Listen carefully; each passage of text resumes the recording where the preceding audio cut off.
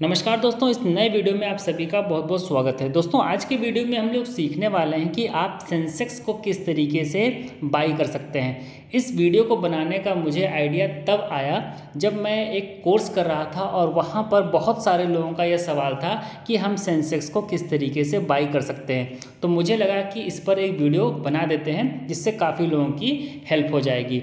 तो वीडियो में आगे बढ़ने से पहले चैनल पर अगर आप पहली बार आए तो चैनल को सब्सक्राइब कर लीजिएगा। वीडियो पसंद आए तो उसको लाइक करिएगा, अपने दोस्तों के साथ भी ज़्यादा से ज़्यादा शेयर करिएगा। तो चलिए वीडियो में आगे बढ़ते हैं। तो दोस्तों, जब भी हम सेंसेक्स खरीदने का प्रयास करते हैं तो मुख्यतः ये आप दो तरीके से कर सकते हैं।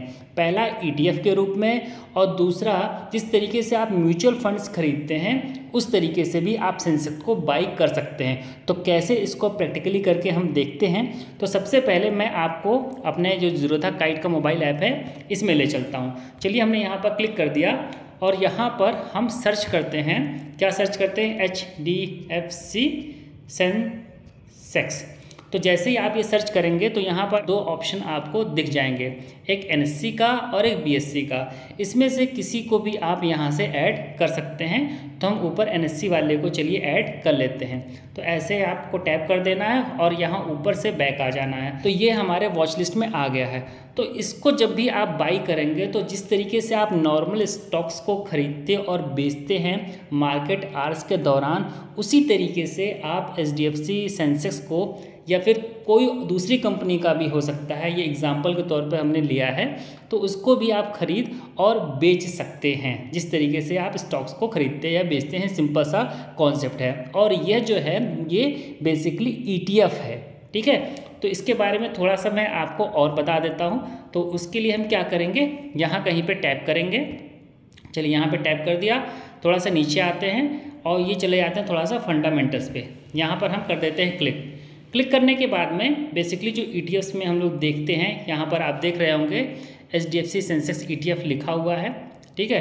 तो यहाँ पर आपको देखना होता है एक्सपेंस रेशियो इस केस में zero point zero five percent है और दूसरा आपको देखना होता है ट्रैकिंग एरर और यहाँ पर है zero point zero eight percent. साथ में आप अगर देखना चाहें तो इसका वॉल्यूम भी देख सकते हैं। तो जो इसका जो आपको वॉल्यूम यहाँ पर दिख रहा होगा, दो हज़ार सात सौ बयासी का वॉल्यूम है। ठीक है? तो इस तरीके से आप ई e के द्वारा सेंसेक्स को बाई कर सकते हैं। तो पहला तरीका तो आपको समझ में आ गया होगा। अब जो हम दूसरे तरीके की बात कर रहे थे कि जिस तरीके से आप म्यूचुअल फंड बाई करते हैं, उस तरीके से भी आप सेंसेक्स को बाई कर सकते हैं। तो उसके लिए आपको हम ले चलते हैं जीरोधा कॉइन के प्लेटफॉर्म पर। ये आप किसी भी म्यूचुअल फंड प्लेटफॉर्म से खरीद सकते हैं। तो क्योंकि यहाँ पर जीरोधा कॉइन मेरे पास है तो यहाँ पर मैं आपको दिखाने का प्रयास कर रहा हूँ।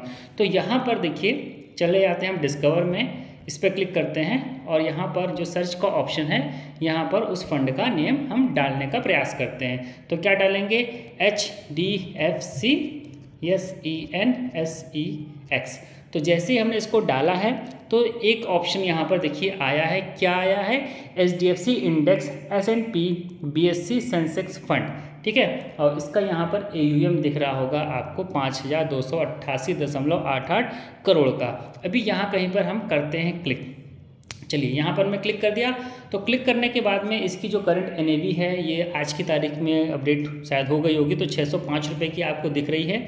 यहाँ पे सी ए जी आर रिटर्न जो है थ्री ईयर्स का ट्वेंटी पॉइंट वन परसेंट दिख रहा है। मिनिमम इन्वेस्टमेंट यहाँ पर हंड्रेड रुपीज़ का है। एग्जिट लोड यहाँ पर पॉइंट टू फाइव परसेंट का है। साथ में यहाँ पर जो एक्सपेंस रेशियो है, ये है ज़ीरो पॉइंट टू परसेंट का। इसको आप किस तरीके से बाई कर सकते हैं? ये जो बाई वाला ऑप्शन दिख रहा है, इस पर जब आप क्लिक करेंगे तो आप लमसम बाई कर लेंगे और जब इस पर क्लिक करेंगे तो आप इस फंड में एसआईपी कर सकते हैं। तो इस तरीके से भी आप सेंसेक्स को बाई कर सकते हैं। दरअसल ये जो सेंसेक्स है, ये थर्टी स्टॉक्स का बास्केट है। यहाँ पर आप पर्टिकुलर एक स्टॉक नहीं खरीद रहे होते हैं, आप एक साथ तीस स्टॉक खरीद रहे होते हैं, भले ही आप इसमें सौ रुपया डालें। तो ये जो आपका सौ रुपया है, वो स्टॉक्स के उस इंडेक्स में वेटेज के हिसाब से डिस्ट्रीब्यूट हो जाता है। तो इस तरीके से आप बहुत ही आसानी से सेंसेक्स को खरीद और बेच सकते हैं। तो मुझे लगता है कि आपको समझ में आ गया होगा कि सेंसेक्स को आप किस तरीके से खरीद सकते हैं। और सेम प्रोसेस है, अगर आप निफ्टी खरीदना चाहते हैं तो सेम प्रोसेस है निफ्टी के लिए भी। हो सकता है कि वहाँ पे आपको अलग अलग जो एम हैं, उनके फंड्स दिख जाएँ। इस केस में जैसे कि आपको यूटीआई का मिल सकता है। आपको SBI का मिल सकता है, आपको ICICI का मिल सकता है और ई e में भी आपको थोड़ा सा सर्च करना पड़ेगा कि जो चीज़ आप बाई करना चाहते हैं, जैसे कि मैंने आपको सेंसेक्स का दिखाया तो वो खाली HDFC ही दे रहा है या और भी कोई भी जो AMC हैं, वो भी आपको वो सुविधा प्रोवाइड कर रहे हैं। तो उस हिसाब से आप अपना निर्णय कर सकते हैं कि किस कंपनी का आप सेंसेक्स खरीदें या किस कंपनी का आप निफ्टी खरीदें। हालाँकि इसमें कुछ खास असर नहीं पड़ने वाला है। सभी का जो एलोकेशन है, सभी का जो काम है सेम ही रहता है। तो उम्मीद करता हूँ कि यह वीडियो आपको पसंद आया होगा। वीडियो पसंद आया हो तो वीडियो को लाइक करिएगा। चैनल पर पहली बार आए हो तो चैनल को सब्सक्राइब करिएगा।